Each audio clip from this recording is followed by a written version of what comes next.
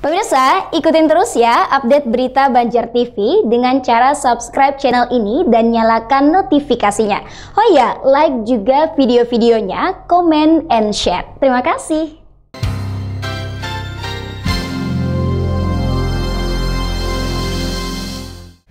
Terima kasih Anda masih bersama Lintas Banua.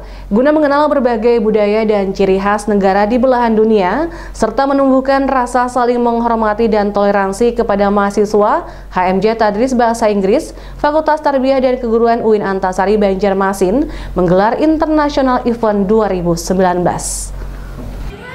Himpunan Mahasiswa Jurusan HMC Tadris Bahasa Inggris Fakultas Tarbiyah dan Keguruan UIN Antasari Banjarmasin Tahun ini kembali menggelar International Event 2019 yang dirangkai dengan berbagai kegiatan yang diawali dengan seminar, parade yang menampilkan ciri khas dan budaya berbagai negara, hingga berbagai lomba bahasa Inggris yang diikuti berbagai sekolah se-Kalimantan Selatan.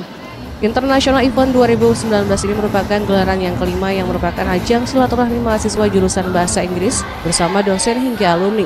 Selain juga sebagai upaya untuk meningkatkan kemampuan dan membiasakan diri dalam penggunaan bahasa Inggris.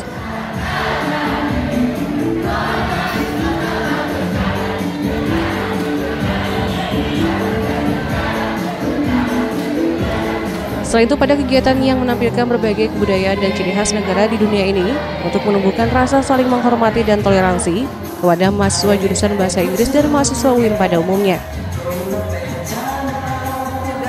salah satu mata kuliah kami kan ada mata kuliah cross cultural understanding. Jadi uh, mempelajari beberapa budaya sehingga kita timbul rasa saling menghormati.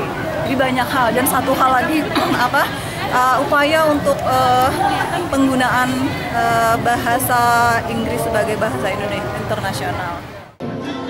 Sedikitnya 600 lebih mahasiswa dari jurusan Tadris Bahasa Inggris terlibat langsung dalam International Event 2019 ini. Masing-masing kelas unjuk kebolehan dalam menampilkan budaya dari berbagai negara di dunia. Himpunan Mahasiswa Jurusan Tadris Bahasa Inggris Sari Banjarmasin. Nah, kegiatan di sini yang pertama ada International Cultural Festival yang di mana per, per kelas mem memiliki negara masing-masing. Misalnya kelas A memiliki negara Jerman. Lalu kelas A tersebut menampilkan apa sih budaya Jerman, makanan Jerman, bahasa Jerman, bagaimana lalu dipresentasikan di depan kawan-kawan sekalian. Dan yang kedua ada English Competition yang diikuti oleh seluruh siswa sekalimantan Selatan. Ada beberapa lomba yang di mana itu debat, storytelling, esai, pecah-pecah presentation, spelling bee, press rank. Ada ada tujuh lomba. Ahmad Ihsan, Banjar TV.